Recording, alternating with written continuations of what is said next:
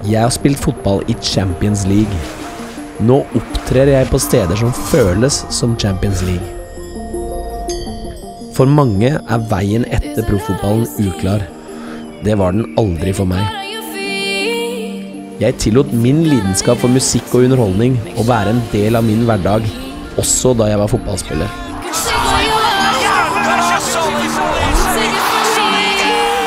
Jeg mener at det meste er mulig å oppnå om man er ekstremt dedikert, framstår ekte og har et sunt, respektfullt folkevett.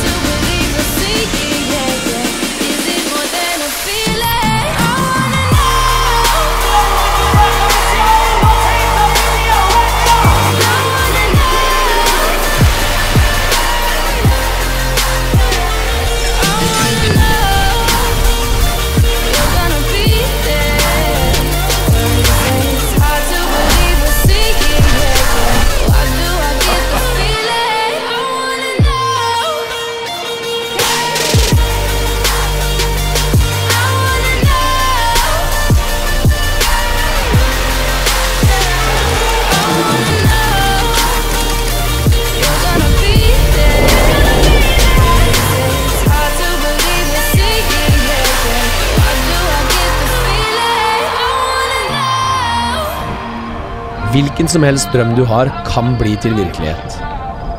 Ikke vær redd for å sette deg høye mål. Alt er mulig. Jobb hardt og vær ydmyk. Husk å nyte reisen.